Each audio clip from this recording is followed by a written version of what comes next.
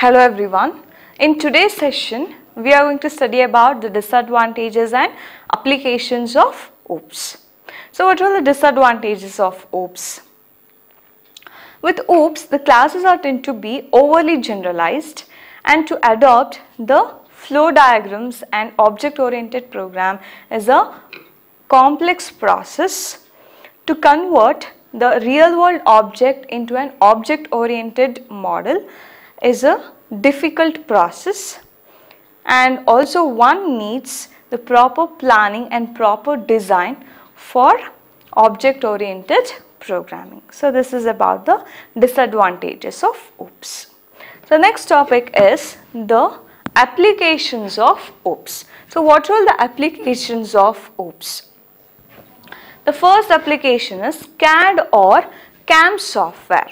So object oriented programming is used in manufacturing and designing process as it involves people to reduce the effort involved. So object oriented programming makes it easy for the designers and engineers to produce the flow charts and blueprints easily. Next application is object oriented database. So it is also called as object database management system.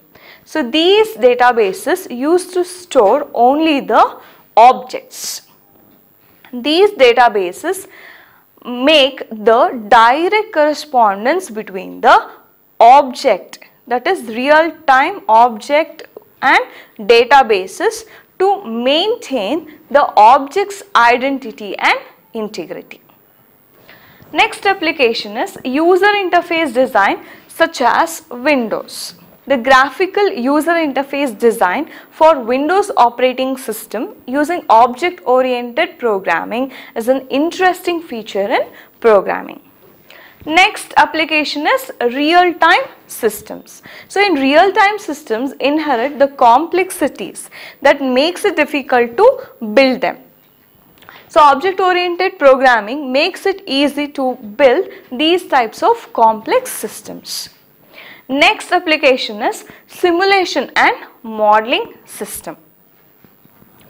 So these are all the complex systems difficult to build due to the varying specifications of variables and it's prevalent in medicines and in other areas of natural science like ecology, zoology and ergonomic systems. Object oriented programming uh, provides an alternative approach to build these types of complex modeling systems. So this is about simulation and modeling system.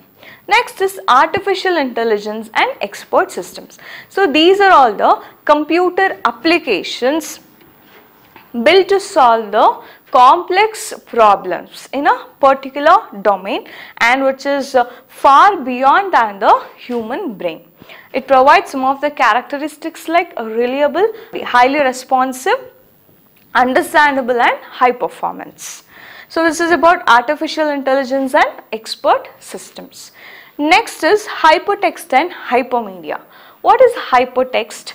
Hypertext is similar to the regular text as it can be stored, searchable and edited easily. The only difference is that hypertext contains the pointers to other text as well.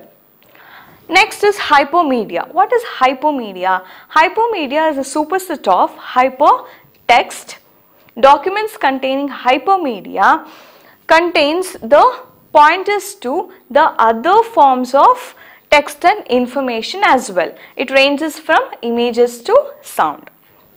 And the last application is computer graphic applications. So using C++ we can create low end graphics too. That is we can create the basic shapes and words using stylish fonts and we can add colors to them. So this is about the disadvantages and applications of OOPS. So this completes this chapter.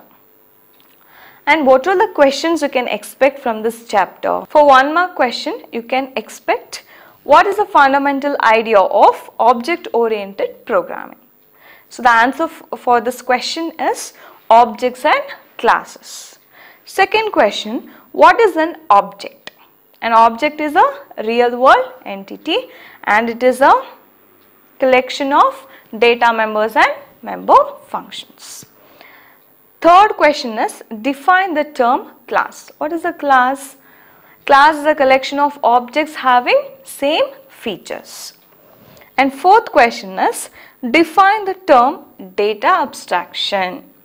So data abstraction is nothing but hiding the background details from the user.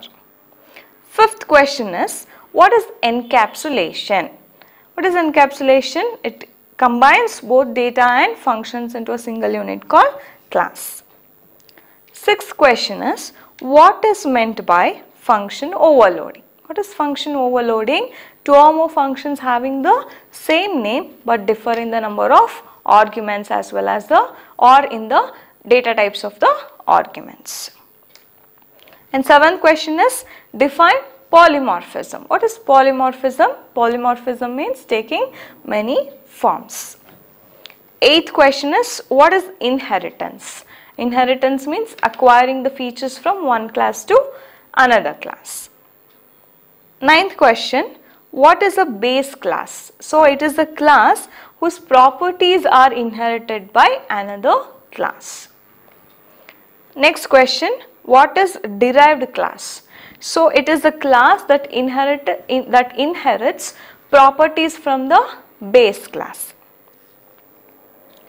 Next question, how are base class and derived classes related? So derived class inherits properties from base class. Next question is define the term data hiding. The data of a class can be accessed only by the functions present inside that class. So it is called as data hiding. Next question is mention any four high level languages that follow object oriented programming approach. So that is C++, Java, C Sharp, Python and Python and J Sharp. C, C++, Java, C Sharp and Python.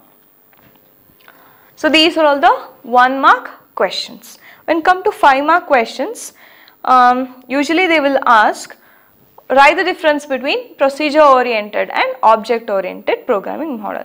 So write down the difference between them. Second question, explain the advantages of OOPS. So mention all the advantages of OOPS. Third question is write the disadvantages of object oriented programming. So list out the disadvantages of OOPS. And the last question is write the real life applications of object oriented programming. So list out all the real time applications of OOPS. So this completes this chapter. Thank you.